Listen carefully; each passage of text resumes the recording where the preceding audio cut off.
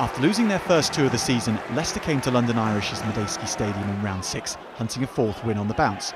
And it took the Tigers less than three minutes to draw first blood. Scrum half Sam Harrison with a brilliant dummy, and some smart footwork too, to bring his team to within a yard of the line. The ball was calmly reworked, and Matt To'omua provided the cutout pass for fellow Australian Nick Malouf to dot down. George Ford missed the conversion from out wide, but Leicester's captain for the day made no mistakes with his next three kicks from the tee to take the Tigers into a 14 point lead. Leicester debutant Gareth Owen then earned 10 minutes in the cooler for this off the ball hit and drop of Greg Tonks. And from the ensuing penalty, Tommy Bell finally got Irish on the scoreboard.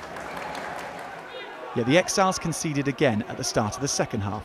Leicester open side Will Evans ghosting through a gap to run in unopposed from 30 metres. Bell slotted a penalty for Irish in reply, and just before the hour mark, the home side had their first try, courtesy of flanker Blair Cowan, who slipped the tackle of Malouf to scramble over the line. Bell with a super touchline conversion. But Leicester and Jonny May sprang straight back into action. This mazy run from the informed winger securing Leicester field position in Irish's half. And from a maul minutes later, To'omua lofted a pass over the top and May had his sixth of the season. The remaining 10 minutes belonged entirely to Irish, however, as they showed true fighting spirit and no small amount of class.